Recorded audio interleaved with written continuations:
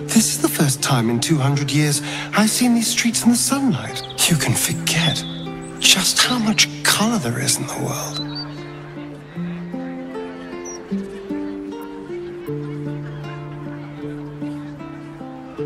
Hmm?